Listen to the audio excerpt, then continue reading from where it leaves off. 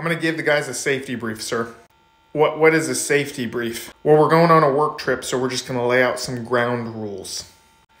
Okay, uh, this is not normal, but that's fine. All right, listen, you little hoodlums. You better be in battle buddy pairs at all times. I better not see you more than an arm's length away from somebody else. Same gender to same gender. Well, I don't I don't think we need to do that. That's kind of excessive.